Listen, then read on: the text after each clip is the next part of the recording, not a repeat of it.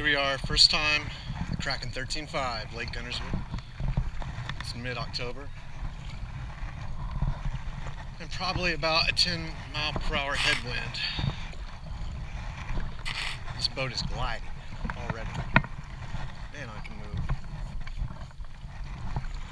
It's interesting.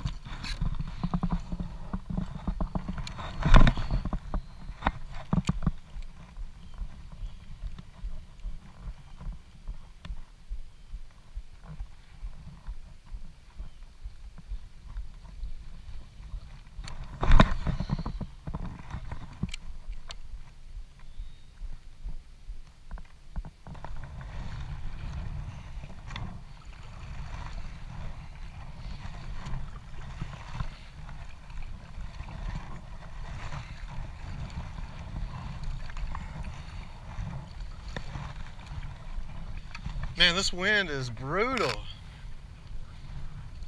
It's going to be slightly worse. I was thinking this cove would be shielded, but it's not really shielded.